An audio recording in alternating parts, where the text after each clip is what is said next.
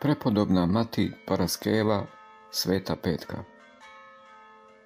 Ova slavna ugodnica Božja rodi se u gradu Epivatu, a Pivat po turski to je Bojadis, koji se nalaziše između Silinivarije i Carigrada.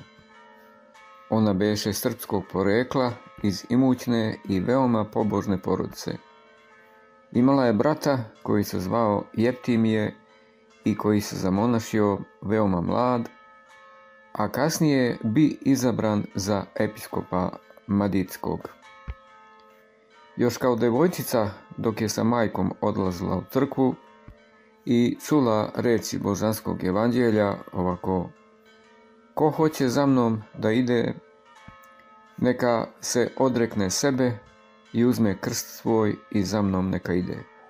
Sveto evanđelje po Marku 8.34 I ona sasvim srcem pripade gospodu i kada odraste pridruži se plejadi blagočestivih ugodnika Božjih. Nakon smrti svojih roditelja, ova sveta djevica, željna podvižničkog života, napušti roditeljski dom i ode u Carigrad, a zatim se zaputi u pustinju Jordansku, gdje se Hrista radi podvizavala sve do starosti svoje. U doba pozne starosti posluša glas anđela Božijeg, ostavi pustinju i vrati se u svoj rodni grad Epivat.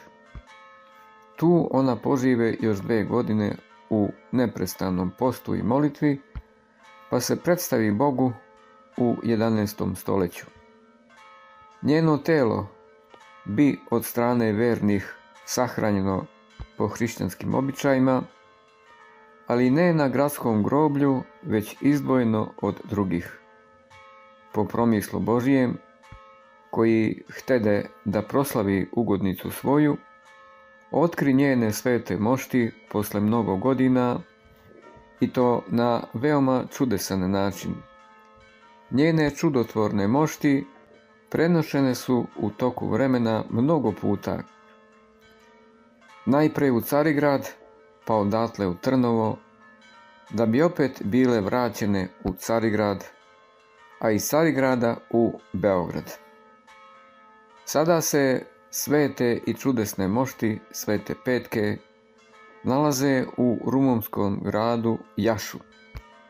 U Beogradu se nalazi čudotvorna i lekovita voda aga izma ove svetiteljke koja leči sve bolesnike koji sa verom u Boga i ljubavlju prema ovoj svetiteljki prilaze k njoj.